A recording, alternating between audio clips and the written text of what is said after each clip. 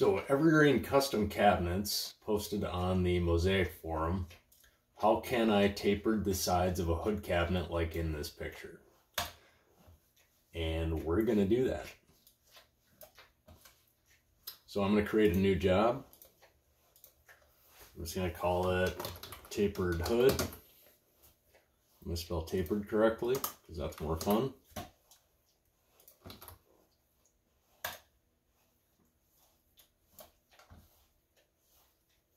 Uh, room, I'm just going to draw a wall. It's arbitrary. Go to my products. Get the front view of the wall. I'm just going to select a wall cabinet to go on here. Uh, I'm going to make it, I like my hoods to be six feet off the floor. So we're going to go 35, no, 33 and a half. I'm going to make the width of it 48. Center it in the room. I modify all my bottoms, so I'm just going to uh, reset that all the way. Go to the interior, clear that out. Go to the shape tab. I'm going to make this a finished end. Going to make the right end a finished end. And I'm going to make the face of it a finished end as well. Switch this to perspective. So I've got a bunch of stuff going on here that I don't want. I've got a top, I've got a back. I don't want to have the back. I skin all my finish ends normally. Here we don't need to have a skin for it, so I'm going to go through my parameters and change some things bottom rail wall, that can go away. I want to keep my nail nailer width at zero. So let's see, ends. Skin finished ends. We'll click that to no. And go to my tops. Wall top, full top is what it's set at currently. I'm going to switch that to none. Go to backs. Cabinet unfinished backs, all cabs. We're going to switch that to none. And we are going to do boring. Where are you? System holes for the wall. I have that as shotgun bore. I'm going to switch that to none. Okay, so now I have a box. I'm going to make this a little bit deeper. 24 inches is pretty typical for what I do for a uh, hood liner cabinet. Now I'm going to take my existing unfinished ends, my left, right, and the front, and modify those in height. But I want to modify all three of them at once, so I'm going to add some parameters right now.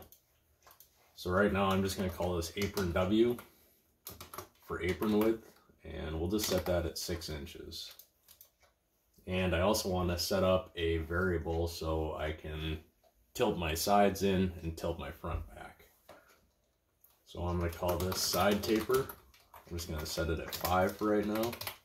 I'll call this one front taper, and I'm going to set that at 5 as well, just so the math is easy to start out with.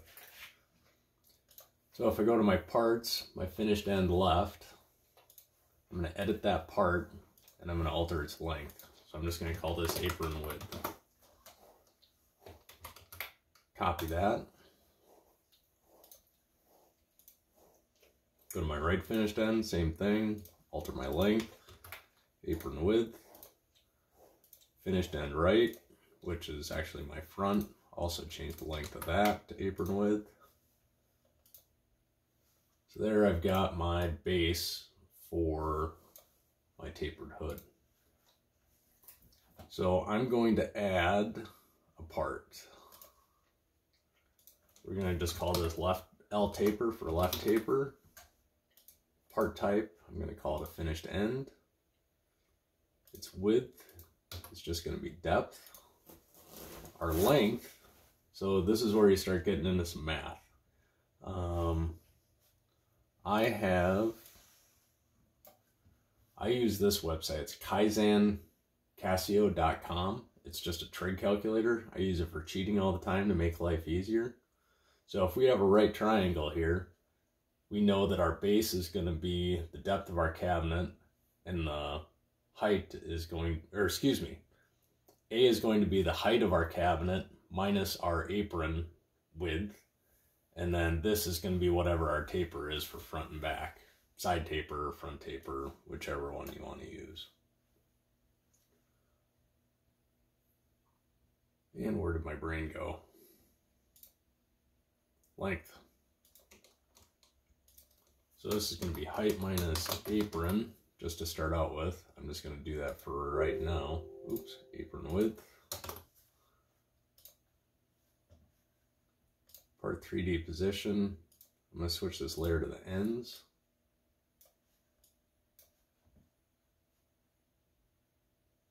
Let's see, so bottom to top, we're going to go apron width.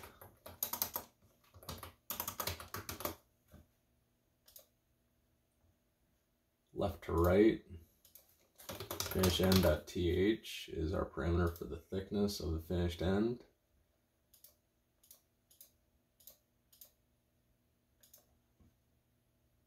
I think it's Y. Nope, minus 90. All right, so then I have my side that's gonna be tapered.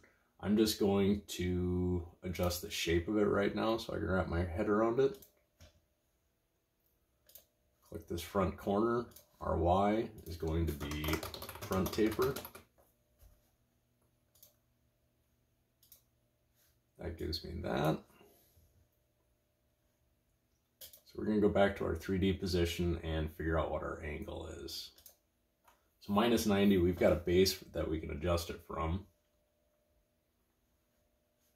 So our angle is going to be, I'm just going to subtract, it's the arctangent of the height divided by the length. So atan divided by the front taper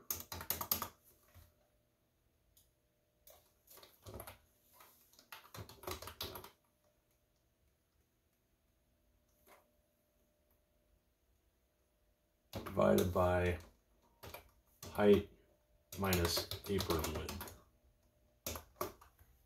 So minus 90, which is, we're just using that as our zero, minus arctan front taper divided by height minus apron width. See what that gives us? Parentheses not matched. Sweet. Yeah, we need one more at the end here. Okay, so that tilted us the wrong way. So we're going to make that a positive. There we go. We've got we've got our one side, and if you see right here, that's sitting up a little bit. So actually what I'm going to do is I'm going to switch this back to a negative, or subtracting that, so it's tilting out. I'm going to actually just make this as my right side. So left to right, this is just going to be width. And there you can see where it's coming together nice and tight the way it's supposed to be. So I'm going to rename this part R taper. And that one should be good to go. Except for my length. So length, that's going to be the hypotenuse of that triangle. So it's going to be height minus, uh, man, this is hard to think out loud on camera. We need to do the square root of a squared, so height squared, height minus apron, not high, height minus apron width, put that in parentheses. times height minus apron width plus that would be our side taper times side taper.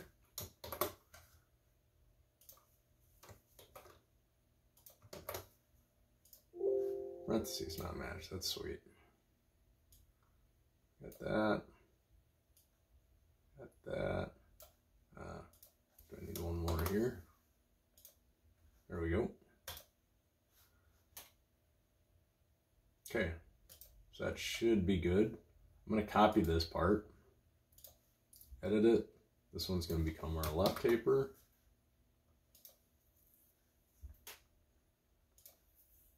Go back to the part 3D position, left to right. I'm just going to set this at zero. I'm going to cut this and set this at zero. So we need to spin this part around. Why didn't it set to zero? There we go. So in Z, spin this around 180. And our front to back is going to be part width.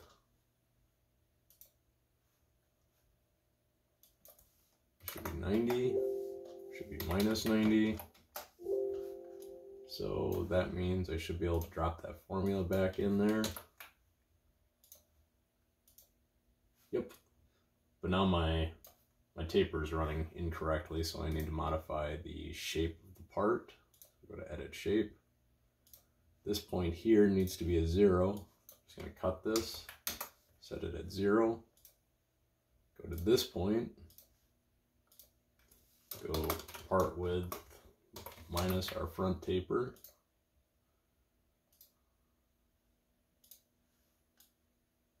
Boom, boom. So we got two sides.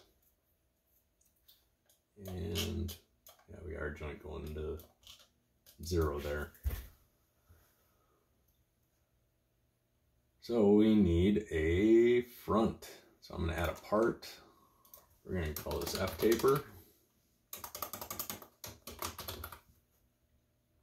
Our length is going to be the width. Call this a finished end again. Part 3D position. I'm going to set this as an ends. Lay out my XYZ. Width. Um, I'm just going to I'm just going to set this at 12 for a second because I'm going to steal a formula out of one of these. I'm going to take my length because this is kind of a long drawn out one to uh, type out. I'm going to copy that. Hit cancel just in case I did something stupid and modified it.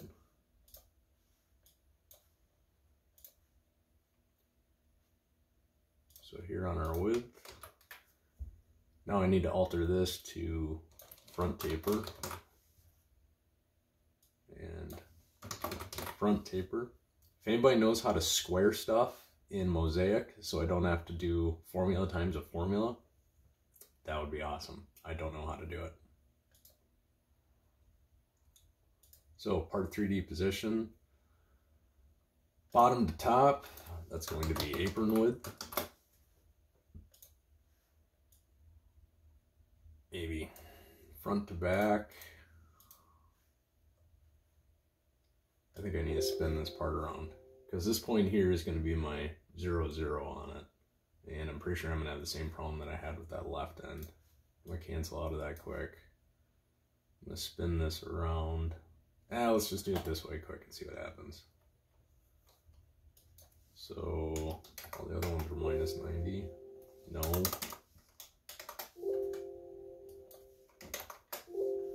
There we go.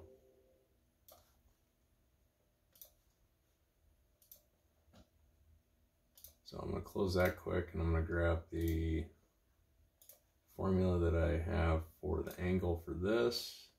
That'll have to be altered as well.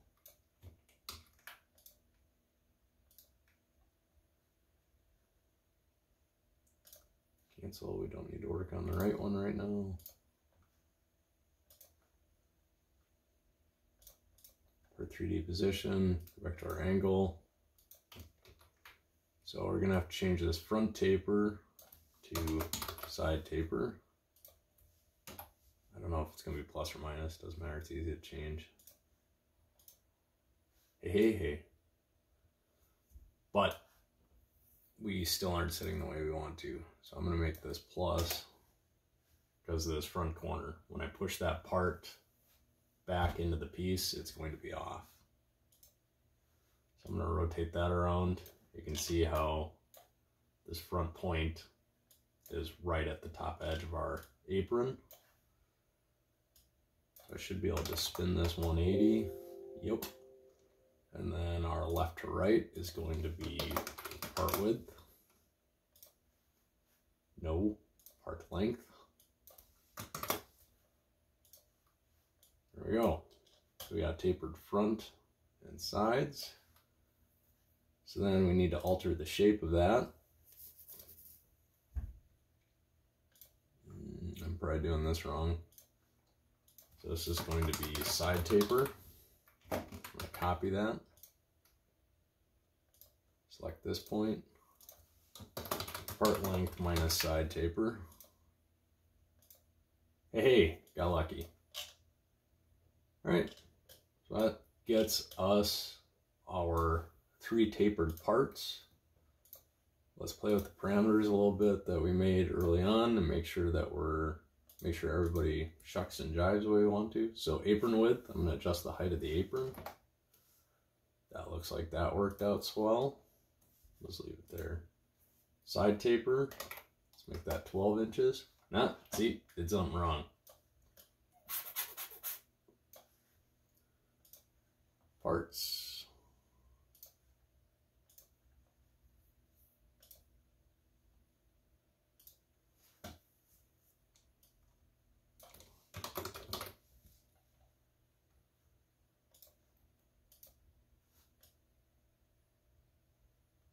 Okay, so then we need to adjust the length of our left and right taper.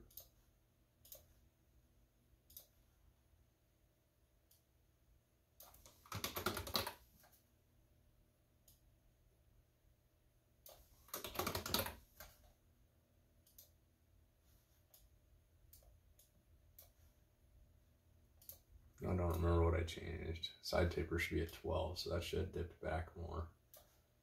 So, oops, parameters, parts.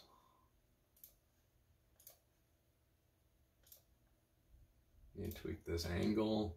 Yeah, so this needs to be side taper.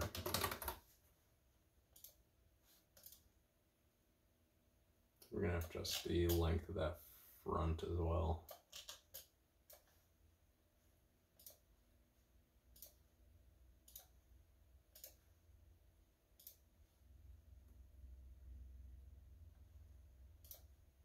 Now I'm confusing myself.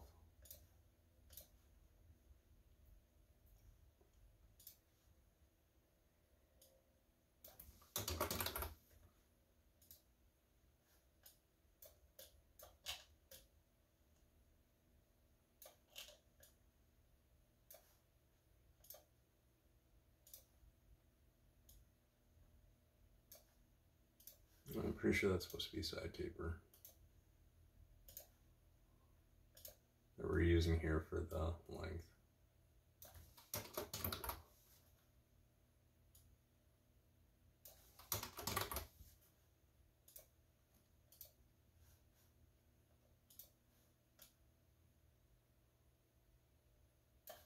Let's just look at the front of this because that'll give us our dimension. Click on that point, anywhere else. 33 and a half, so that's good.